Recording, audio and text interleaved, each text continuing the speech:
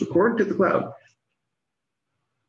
So yeah, uh, uh, WordPress uh, to Jekyll, uh, take two. But so there's some pros and cons to uh, running WordPress.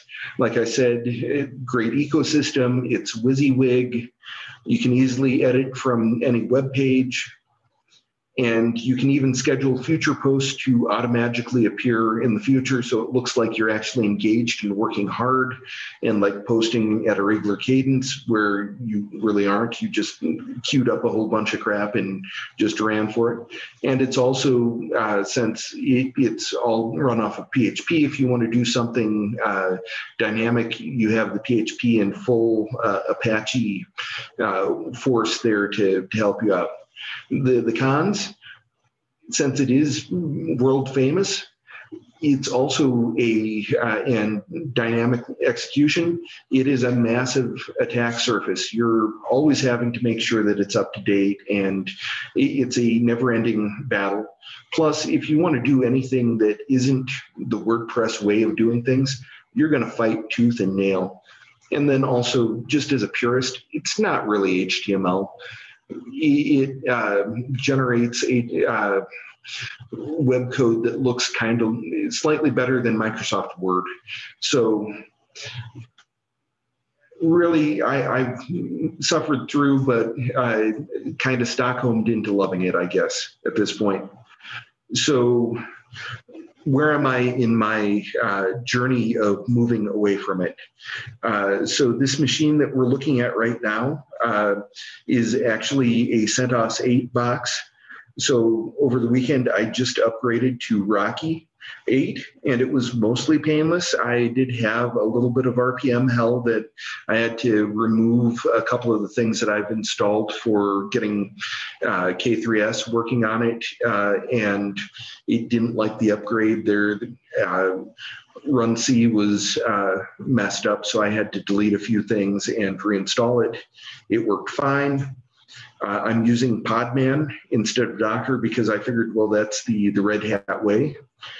And uh, that, because of the way that I was doing things where I was mounting a local folder in and running rootless Docker, I got stuck in SE Linux hell.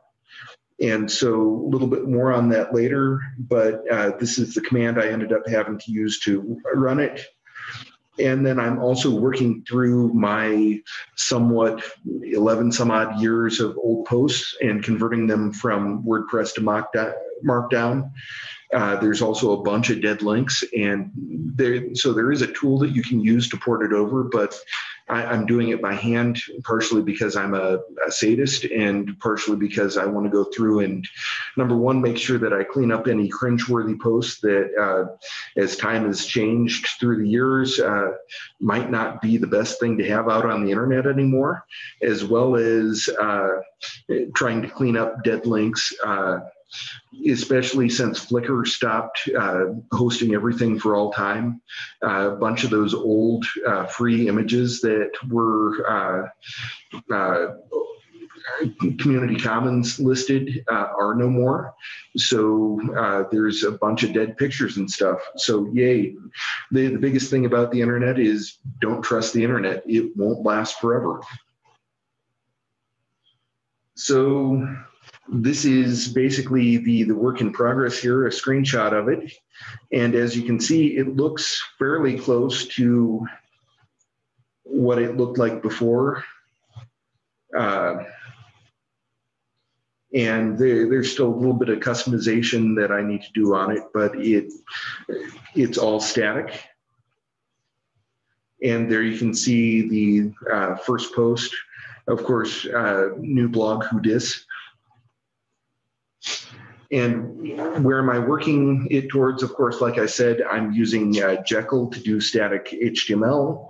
I'm going to be moving it uh, onto GitLab pages, so I won't have to have a VM running at all.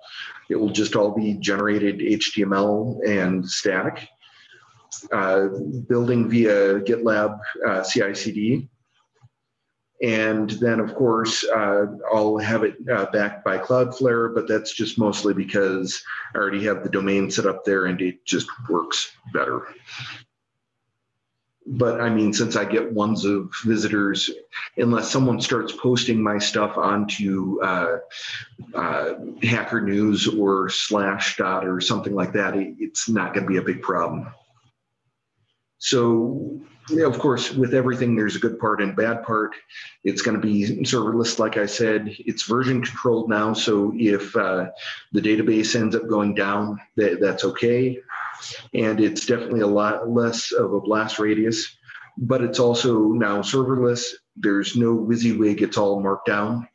And it's also compiled, you, you don't have PHP to do funny things if you want to do something special. So if you want to do that, you'll still have to spin up your own uh, little VM, but it will have far less uh, impact if someone owns it. So let's talk a little bit about Jekyll. Uh, the first thing about it is that it's designed to be simple. There's no worrying about MySQL, uh, no con comment uh, moderation or anything like that because my uh, WordPress site had where you could make comments. Now, of course, the problem is I'd have to, if I ever wanted to, I, I'd have to wade through like millions of try my Cialis uh, stuff or free drugs and girls.com or stuff like that. So usually about once a year I'd go through and declare uh, bankruptcy, even if you had the, the like plugins to help try and cut those down, they'd still get through. And it was a just nasty battle. So I never really had a comment that I liked, but that goes with the ones of people. So uh, it's also statically generated, like I said, Markdown and liquid uh, templating. So, what is Markdown? It is basically a text file that's unobtrusive. You can read it as is, and really it's sort of the, the easy button to text. Uh, as you can see, uh, this is definitely not playing nice here. But as you can see, there's a whole website around how to mark down and get started. But going back to my presentation here, basically uh, one hash space, space is H1, two hashes is H2. You can do all sorts of things like links and uh, just uh, bolding and all, all the stuff. It's just an easy, quick, dirty way of doing uh, uh, context-based text. And basically the idea is you take Markdown, you run it through an app, you get HTML, and then you can view that. And uh, it's everything from email to uh, web pages to notes. Uh, they, there's uh, just a whole plethora of apps. Even things like uh, GitLab and GitHub use it for uh, the like README files and stuff like that. There's even a website that you can go to that will let you work through your mar markdown code to figure out what it looks like onto the liquid templating engine. What is this? Shopify were the guys who originally made it. And it's basically just a simple markup engine that makes beautiful results is what they're they're trying to go for. It uh, not evaluating any code on the, the server side of things. And basically they their whole premise is don't trust the users designed to be stateless, and it also was supposed to generate uh, HTML that would be valid for both web and email. The other big thing about Jekyll is it's very block conscious. So let's see if I can make this a little bit bigger. So in this, uh, this is basically a markdown example of a blog post and basically, their whole idea is that you have something called the front matter, which has some various va- uh, variables, like it's a post, and this is what the title should be, this is when it was published, and that's what the background image is. There, there's some other ones that are on the website uh, that you can use depending on what template you have. And then everything else that you put after that is the content. And uh, As you can see, it's just text and it magically gets turned into HTML. Uh, if you put a file in uh, the directory structure that doesn't have that front matter to it, it just gets treated as a static file. So like say if you drop a JPEG file in, it just will magically happen and be a JPEG instead. And so this turns into basically that. And uh, if you want to do stuff like uh, if there's some HTML, like for example, here's a post where I wanted to just straight up copy the stuff that was generated by WordPress, you just drop your HTML in and it works. And it just basically passes through. So you can have your cake and eat it too, really, in the, the end of things. So how do you install it? Well, if you want to go the hard way, you have to have Ruby, Ruby gems, uh, make in GCC, and then basically you just say gem install Jekyll bundler, and then you just run your to create up a new page. You go Jekyll new my and the name of whatever you're making, CD into that, and then you can do uh, Jekyll serve will actually uh, serve up a local static uh, uh, web server that will, as you drop more files into the folder, it watches for changes and recompile it. But you know what? It sucks installing uh, Ruby and getting the right version, and things change. And you, who wants to keep that all up? So it gets even easier with containers. In this example, you could use Docker if you were that included. Uh, but since this is being run on a, a Red Hat-like machine, I figured might as well use Podman. So basically, the command structure here is Podman. Just think I'm using Docker here instead run, remove the container when it's done, run it interactively. Dash V is mount the current working directory, which is where my files are, into slash web. Uh, since since uh, by default this is running rootless, and inside the container uh, you land running root, uh, SE Linux freaks out and locks you out of trying to do anything, of being able to CD into that folder. So you have to tell it, you know what, no, it's okay. Uh, network host makes it uh, use network low uh, stack so that you can actually see it from your web browser and then run the, the uh, container Jekyll uh, and ba- uh, run bash in there just because I, I wanted to have an interactive ter- terminal. It's just that easy. So as an aside, what the heck is Podman? Uh, it's a daemonless uh, container for running OCI containers, or a, a, daemonless container engine for running OCI containers in Linux. They think like uh, Docker, except for without having that thing running as root all the time that uh, creates a security hole. Uh, and basically, you can use it as a drop-in replacement for Docker, but better. So as an example here, this is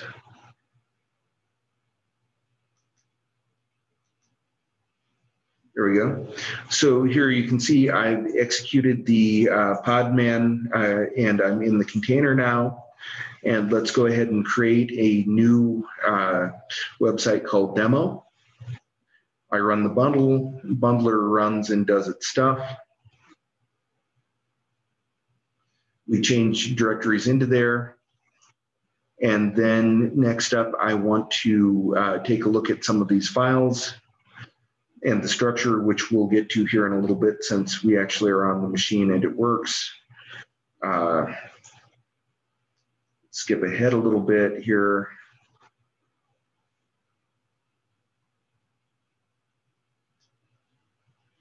So uh, here I, I we're looking at one of the markdown files and now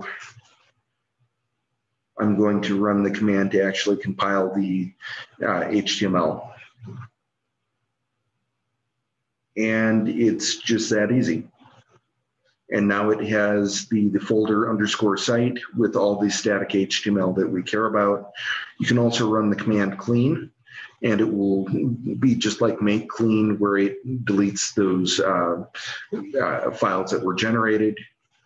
And if you, you, screw things up. Are you running these commands in Firefox? So uh, ASCII EMA uh, is a screen recorder that makes YouTube like uh, uh, recordings of uh, uh, your your uh, shell, basically. Okay so uh, the, the, this is the the solution to the well my my presentation absolutely just uh, uh, crashed on me and uh, I now embarrass myself trying to uh, root around and make things work. If you record it ahead of time, life is so much easier. Yep. But uh, so the the other one thing to, to call out here is if you screw up your config files and you don't know what the heck's going on and it's just failing, you can ask the doctor and uh, sort of like uh, the therapist in uh, certain text editors, uh, it will tell you what's wrong and what you need to do. For example, by default, we don't have URL set, and that might cause some problems. And then, of course, since it was all in a container uh, that we ported it through, when I exit, now I don't still have Ruby hanging like a boat anchor around my neck uh, when I, I don't want it anymore. Because, I mean, who really wants Ruby on your machine? So then the, the other uh, command to call out here is if you run uh, Jekyll serve, uh, you can actually uh, go ahead and uh, have a dynamic version of your page that recompiles as you change files. And since we're doing that uh, double dash network host, it makes sure that your uh, it's actually playing on your local network stack, so it actually uh, will be viewable in the browser. So if we go this, uh, of course, the, the, first problem is since we're going into a fresh Docker container, we have to run bundle install to install some missing gems, which the, big thing is it just takes a second to install here. And then when you run uh, Jekyll serve, you can see it uh, generates up your files. And then if you go to localhost uh, 4000, it uh, just works. So, and we'll dive into the, the actual editing it here in a couple minutes. Now, of course, by default, everything looks ugly. There is a bunch of free themes out there and also themes if you want to pay for them, or you can create your own too. In my case, I'm using Clean Blog. It's a little bit crummy in the fact that uh, if you, you actually have to check it out of GitHub and uh, compile it yourself if you want to have more than just the uh, uh default uh, uh, posts about contact and home as your hamburger menu up top. But you know, it works and it, it was easy and it looks pretty much like the WordPress uh, theme that I was using before. So now that you've got it compiled, let's move it to the internet because HTML files on your local disk, well, I mean, that, that would see slightly more viewers uh, if I posted on the internet, but probably not much more for me. Uh, there's really two good, easy options that are uh, free. GitHub has uh, pages. They were the first one. There are limitations to it. You can have one gigabyte of total size. They have a soft 100 gig uh, bandwidth cap, and they limit you to 10 builds per hour. Now, of course, for a site like mine, that's not going to be a huge problem. But you know, there, there's also uh, GitLab, and they have pages as well, named similarly because, of course, why not? And uh, their limitations are just their standard 10 gigabyte uh, sized uh, re- repository limit. They have uh, no official bandwidth limit. Apparently, they'll reach out and talk to you about uh, maybe doing things differently if it gets too crazy.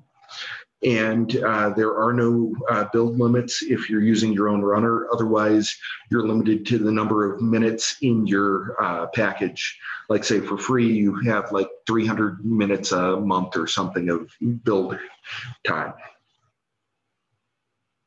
So, of course, since my blog is, uh, there's that whole quote from John Steinbeck about how Americans are just temporarily embarrassed uh, millionaires. My blog's going to hit it big someday.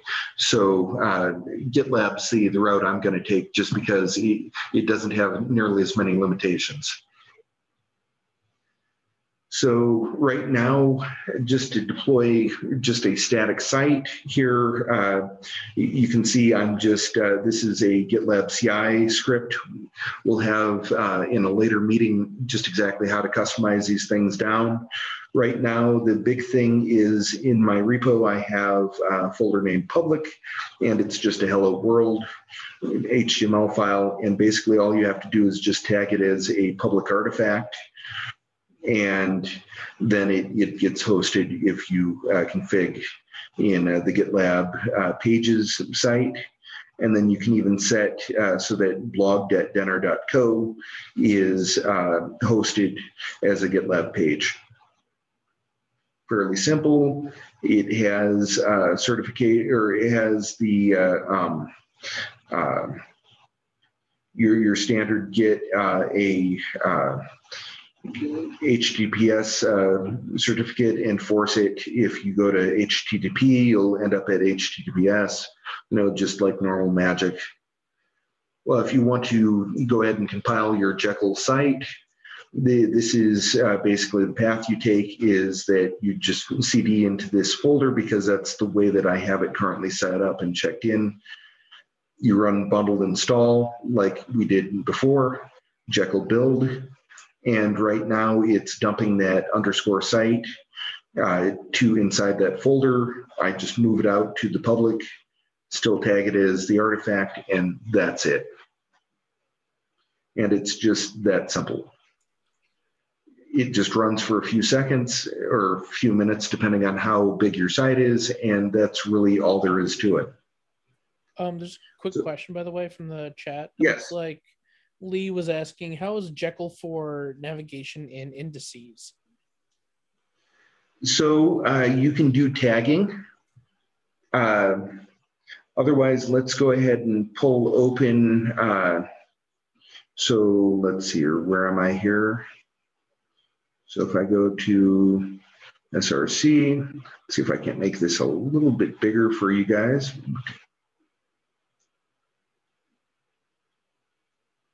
Well, That's okay, Zoom works. okay, well, anyway, though, here, so I can find where I'm at. There we go. Okay, so if I go into blog here,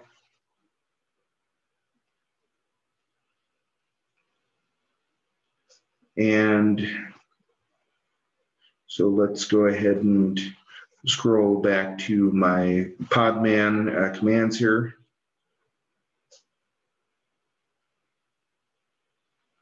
Well, just where I had it in here. Sorry about this. Yeah, Control R. You running Bash?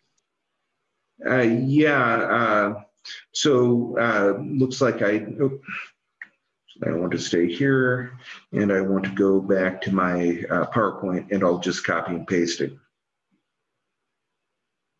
Because I wanted to grab my uh, uh, Podman command so that I don't have to uh, type it all out.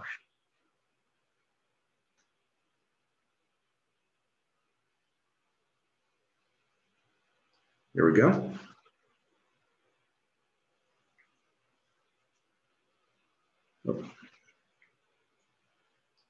The curses of uh, being on a remote desktop here. Okay, so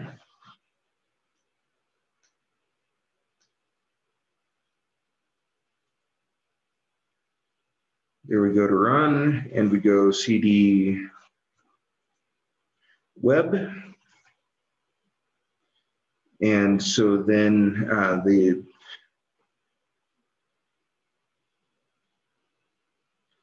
uh, the command we want to run next is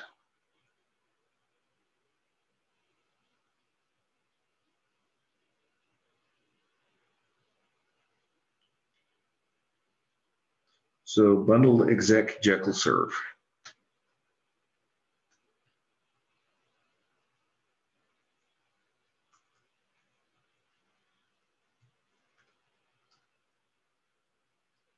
And you see I have to run bundle install again because new container, uh, new everything. So running bundle Jekyll serve.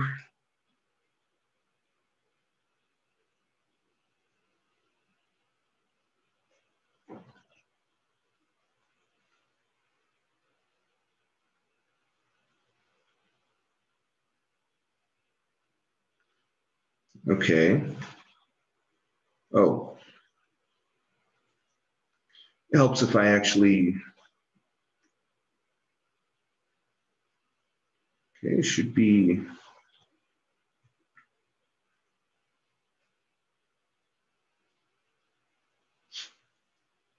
I just run Jekyll serve will work.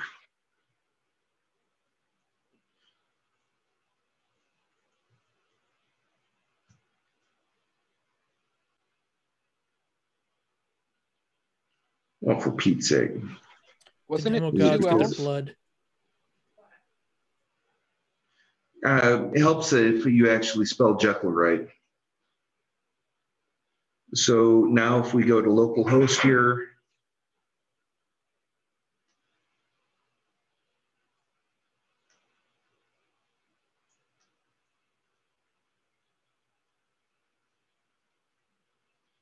four thousand.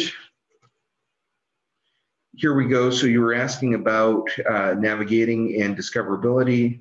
You can go to all posts here and view uh, what I have here. Uh, it is a templating engine, so I mean, you can uh, get it so that it will uh, post uh, any sort of tags or stuff like that. But uh, that, that's pretty much where we're at. The, this particular template's a fairly stupid uh, one, so it's uh, fairly simple. But you can go to like about, and uh, the, of course there's your post I want to see you with that mask on. and uh, contact me. So I mean, it's basically just as much effort as you want to put into it, but uh, there there is some customizations and some uh, basic scripting that you can put into it. Uh, if we look at the the uh, behind it here, basically your uh, structure is uh, going to be that gets automatically generated. You have this underscore posts that contain all of your posts. And basically, the format that they want you to use is uh, date and then uh, name.md or HTML. Uh, and then, like, say, if you have a uh, image that ends up being uh, just uh, statically uh, brought through as just assets there.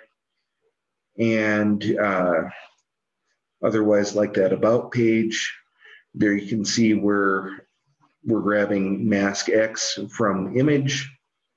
And if you put in Markdown, that's how you get to uh, an HTML link there. Or uh, basically, like 404 ends up being the you can't be found, etc. So, I mean, it's fairly simple. By default, uh, the other big thing to call out here is this config.yaml. And uh, that's where uh, you have like setting your title, email, uh, descriptions, your social media accounts, what theme you're using, stuff like that. Otherwise, that, that's pretty much it. It's fairly stupid, fairly simple.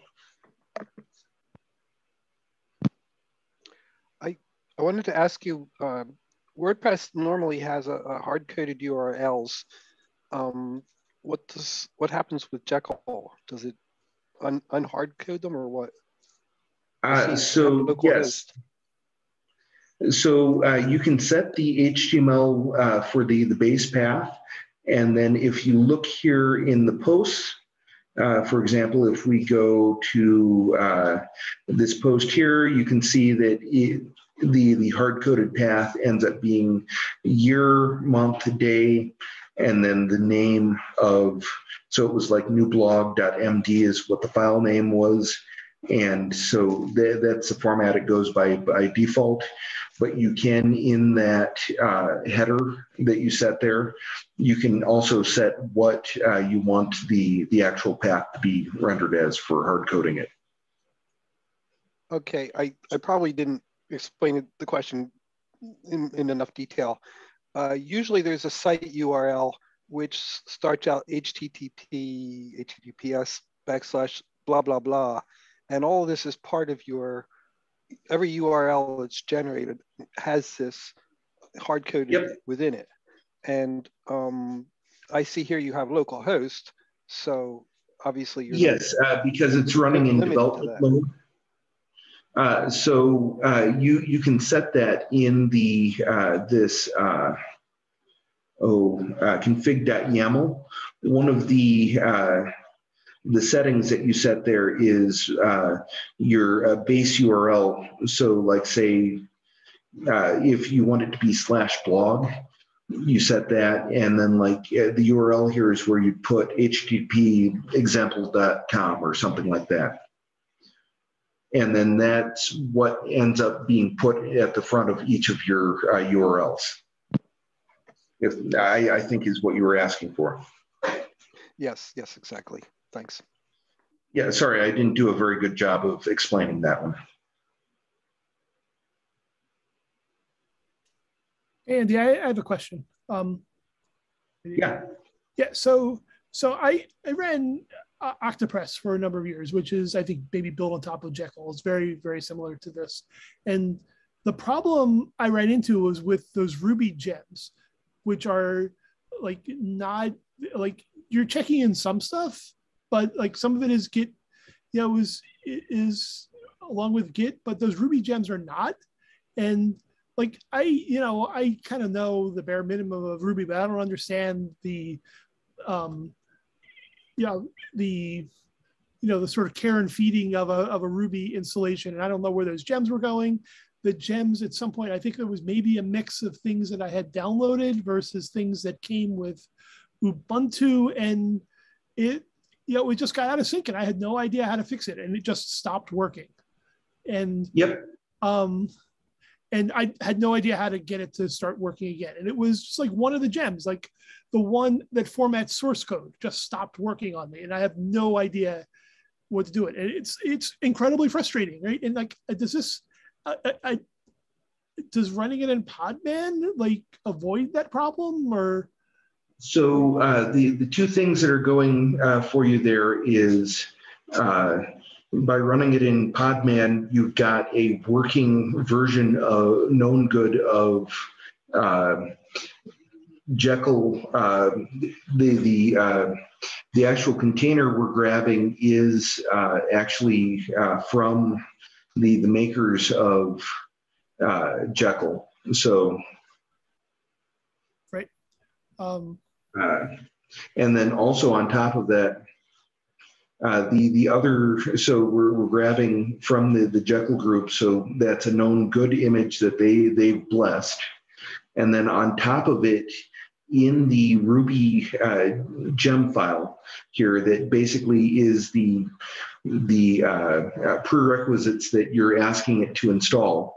Uh, we also went through and pinned the version. So, like, say, Jekyll is pinned to version 420, 420 or 420, I, I guess, yay.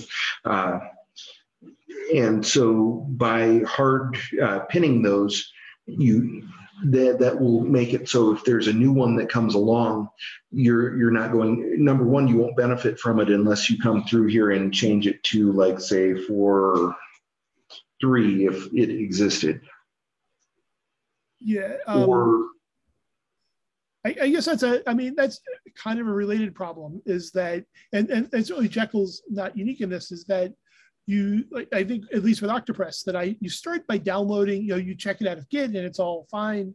But then, like, how do you do maintenance on that going forward? Like, if, if someone finds a security hole in that version of Jekyll and you have to go to 4.3 or 5, right? Maybe by the time you discover that 4.3 is obsolete and you have to go to five or six. And you know, you've got what your your code your your repository your the your your blog is a mix of you know your static you know your markdown files plus these gems that you don't really know what's going on because they're ruby and you don't know ruby any better than i do.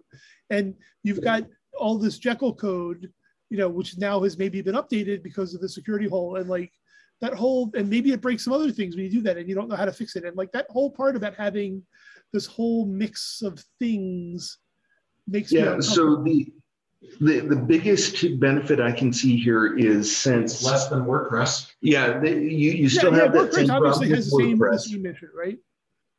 but Well, yeah, the also the the- big the Jekyll stuff is never live. Like it's only used to translate this into static HTML. Yeah, yeah, I totally, yeah, I understand that. Um, so if you maybe, can't okay, so maybe a better, maybe a better example is there's some new feature in Jekyll five that you want to take advantage of. Um, you know, maybe, um, oh, I don't know, I don't even know what they could have had. Maybe they, maybe they had support for, um, you know, building, you know, you know, chatting, or maybe they add support for comments, right, that you didn't have before, and you want to get that, you want to get that ability back because you liked it like you you want to chat with that guy from Indonesia that's sitting your site. Um, but then So- any kind of updates, is, it, you know, I think it's just inherently problematic. And uh, like I lived with this for a while too, and the problem was eventually it broke on me, and I didn't know how to un, how to unbreak it. So I think one of the big benefits we have here is the the fact that these post files are so very uh, stupid simple that uh, basically all all they are is just uh, date title uh, and that it's the post layout and then markdown. Markdown hasn't changed in years. Worst that's, case, that's, that's part that's gonna that's gonna run into the problem. The problem is gonna be all the plumbing. That that's yep. that So is what can break. Yep. So the, the idea is that very worst case, if we have to declare bankruptcy and say my my Jekyll site is just totally hosed, I, I can check out a new Jekyll uh, with the, the command to create a new site, declare bankruptcy, just move my uh, posts into the new one, and Bob's your uncle. Mhm. Yeah, I think uh, uh, uh, you know an additional problem with Octopress is that they the guy stopped maintaining it after a while. So, like even like even Yeah. the stuff that was up on his site, if you tried to download it, no longer worked. Like it was expecting older versions of gems that weren't around anymore. Um, it was Yeah. all it's all mess. And I think that's the, the benefit with Jekyll is that it has the, the backing of a lot of people. Yeah. And so because of that, I mean, uh, basically GitLab and GitHub both have put their their blessing. Uh, hey, this is how you do stuff, as well as like the most of the world is uh, sort of centered around this. So there, I, I have a lot better feeling for this one but of course, with the the uh, provision that if I like it, it means that it has about six months until it stops being popular. Mhm. That's usually the way that everything happens with for me. Did Yep. you consider Hugo at all? Well, I, you know, I- you I- can I? Yeah, you can. Why don't you you answer, then I'll I'll answer if you looked at it. No, go go ahead. You you probably have a better, well thought out Well, I answer. was gonna, well, I mean, I, I don't know that I do, but um, that was one of the static site building tools that that people were pointing me to when I when my site like stopped working, maybe like last year at this point. Um, I think the problem the problem with Hugo and the problem with a lot of them is that I- is Hugo. I think Hugo is it's node based. Go. Is that true? Uh, Go based, I believe. Go based, but it it's still it it it was all the documentation I found and the like and the, the things all were built around someone. They were designed for someone that is very familiar with like modern web like web development pipelines. And so there was just a lot of stuff there that I just had no like like the the go part of it was fine. I couldn't get the you know the the templates that I found to work or compile with anything else. And um, I think there still was some JavaScript in there and maybe there were some Java JavaScript packages I was supposed to be installing or something. I don't you know it was a while ago that I looked at it but there was a, there were some maybe there was something else that was node based and um, like I just had the hardest time getting any of them like even I could I could barely even get a whole world working let alone an entire blog um, up. So I mean, that was that Yeah, was my was- that was my experience. And Yeah, I think it- my- my- about, yeah, Jack these Jekyll things is that all you're doing is changing some like text config files, which was the nice part of it. You didn't have to understand, you know, you, you didn't really have to go in and muck around with CSS or you know download any kind of JavaScript packages for the build or anything else because you know it was all kind of straightforward. So that that's really all I, I need to say about it. Um, Yep. Uh, so yeah, my my experience with looking briefly into Hugo is that it was a little bit harder to uh, uh, play with, and uh, with Jekyll you can if you if you care about going into the weeds of playing with the HTML and the JavaScript and all that stuff to create your own template, you can totally do that all day long if you want to.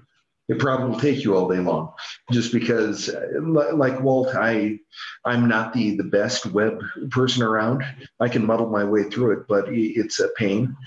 And uh, tha- that's why I liked uh, this in the fact that all the batteries came included. Uh, to change the template, all I did is just tweak that one uh, YAML uh, file. And so I changed the, I added in uh, the gem to uh, run the, the uh, clean uh, blog theme and then I edited the uh, where is it here? Uh, config.yaml to say that it should use the the clean blog, and that that's basically all I had to do to get it running the this other theme. Yeah, but what, but what if you what if you need to change the menu on the top, or you want to remove one of the pages? That's where I got stumped in, in Hugo. Uh, yeah, so if you want to do that, uh, it has instructions on the, sorry here. Uh, so on the uh, theme page here, if we go to the, the GitHub, uh, so this is the, the actual uh, source code for the, the, the theme here. Yeah, and basically, if you uh, Okay, so uh, scroll scroll up a bit, Andrew. yep uh, so this is Yeah, it, it, it, scroll down. No, there were some. Yeah sorry sorry this is a uh, remote desktop so uh, I, i'm playing catch up here as it runs but uh, so basically to set it up you just do new site and then you uh, config that's the the sort of base easy route that uh, i took here but if you want to actually get Okay, that's that's what I was missing. Index.html about contact posts. Okay, that was a structure that I couldn't figure out in Hugo. Yeah, yeah. In in Yep. Octopress, it was it was easy. I think I added like to the default theme, I added um, you know one or two extra things, and it was really a matter. Maybe it was listed. It may have been listed on the on the website. Maybe it wasn't, but it was a matter of like finding where the um the, the menu that was currently there, and it was a text file or, or links or something like that, and it was it was quite straightforward to to do it. It wasn't it wasn't difficult at all. Yep, which uh, the the if you want to actually uh, go into the weeds here uh, to uh, edit things, you you have to download or clone the, this repository, and then you go about uh, editing the the actual template itself, and then uh, basically just follow their directions here, and in theory it should work fine. Okay. I, I haven't gone that, that far into the weeds. Like, like I said, I, I'm still stuck at the porting uh, years of old blog posts and cleaning those up stage. So Yeah. So my, idea my was- one advantage is my my years of blog posts are formatted in exactly the style that Jekyll wants. Um, so they should I should just be able to put them to the new directory and be good to go. Um, in theory, like who knows? yeah, well, and the fact that you're also already using uh, templating based uh, blogging uh, to begin with. Mhm. So you, you've already got your how to host uh, static sites all worked out and everything's already in Markdown. So you're, you're good to go. Oh yeah, well I do with the sort of Jekyll way of doing things, uh, at least something that was similar to it. Um, you know, doing it with Hugo or some of the other ones was, you know, if I'm, you know, if the if first step is going into something and and you know installing stuff out of JSON out of JavaScript repositories, that's probably it's probably not for me. Well, actually, the layout that Andrew showed for posts is exactly what Hugo used. You know, the layout for a post. They're all marked down. They've all got Probably that gets more front matter up complicated there. and that's where they diverge. Yeah, the, the other benefit, I don't know, you might want to look into if you're wanting to go with Hugo. Uh, one of the things you could do is look to see, I'm, I know they have a Docker container for Hugo as well that would solve you, for, save you from the having to install all those crappy things on your uh, one machine. Uh, actually, Hugo was a one-line install. It was a package. Yeah, uh, Yeah. Anyway, no, the container isn't the issue. The, the problem is it was a, I still haven't figured out how to set the menus on top to that, those sections in the pages and then create a sub page for posts and stuff like that. It just was not very intuitive. But then again, I haven't touched it for a long time. So, Yeah, so with this, uh, if it catches up here. Uh, so uh, if you look at like say the the includes uh, folder here, you've got like the the nav bar, and this is where you can edit and add in. Uh, so you, here's where you have the home, about, posts, contacts. Ah, It would be real easy to cargo cult in a couple Yeah. more links if you wanted to. okay, that, well, that's the second level. And the Hugo, all that uh, layout for that's in the config.yaml. But uh, yeah, you, it it looks like they may have to go back in there and tune some of that. But then it gets muddy as to well, do you change the version in the theme, or do you? But you you have to pre- put that copy of your file in the base site, so it overrides the one in the theme. So Yep, I- I- and I- in this case, uh, basically, they, they have the instructions of what to do. Uh, You basically just clone this site into your, or clone this theme into your, your actual uh, folder structure, and then it uses it instead of the, the like uh, base theme that uh, is out on the internet that it downloads instead. Yeah. Okay, thanks. No problem. And of course, eh, this part of it is somewhat theoretical. I, I haven't done this part yet, so.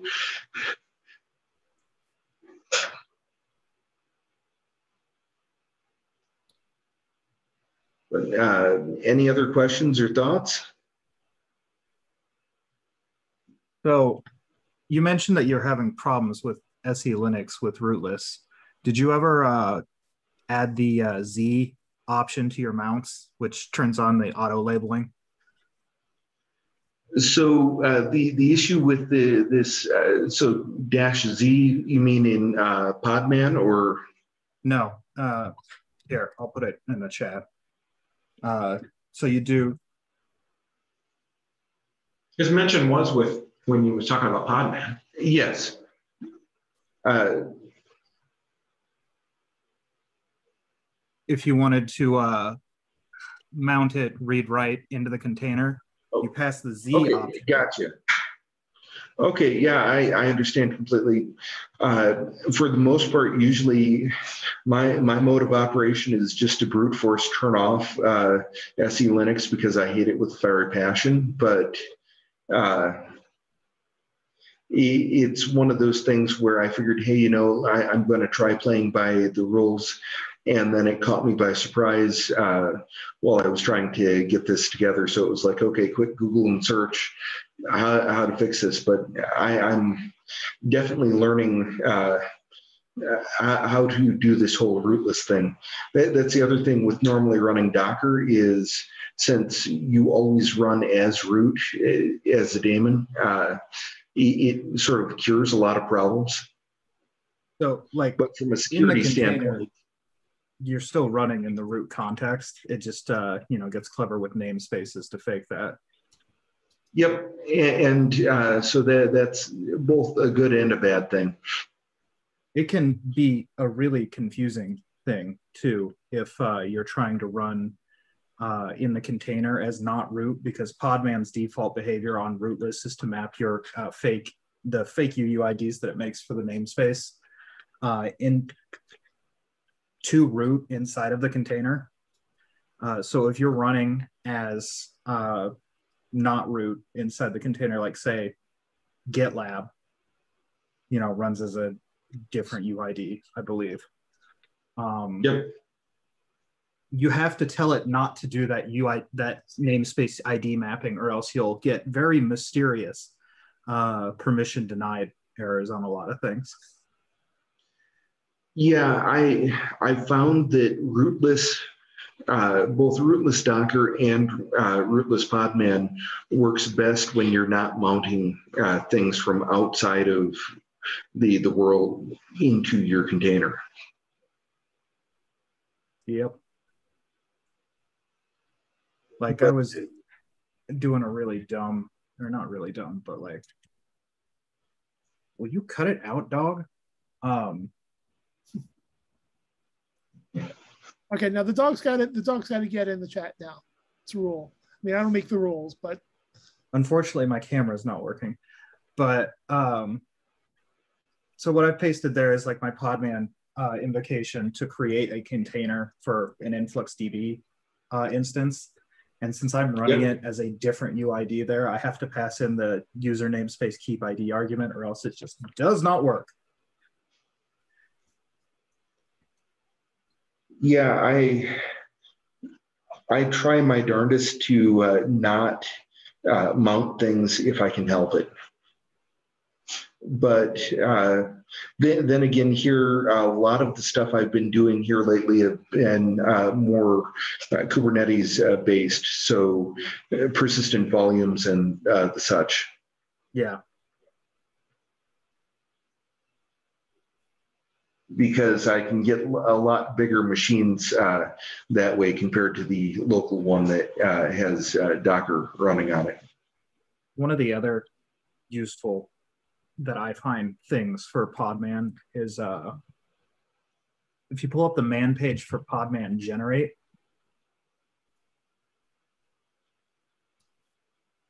Uh, Here, you can go ahead and uh, screen share if you'd like. yeah, let me try that, see if it'll work. Camera not working, but screen share would. Yeah.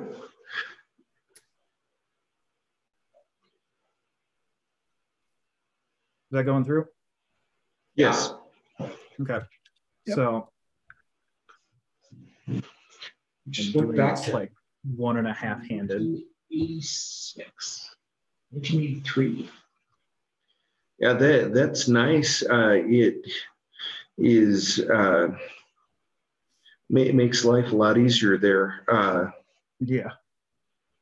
I Um, was also interested in reading. Uh, I, I read something about how you can uh, use SysD to uh, systemd to schedule your Podman executions for like. Yeah. Um, does he want this recorded? Yeah, we can go It's- ahead and uh, stop this is not recording. here, so- sensitive. Okay. Okay. Okay. but my agents apparently stopped working. Yeah, so you can see here, uh, the invocation for that is just like Podman generate, and then you tell it what thing you're uh, generating for, and then the container that it needs to dump for, and then that spits out a uh, system D unit with all of the crap done for you. So all you need to do is run like daemon reload. Will you stop eating my sock?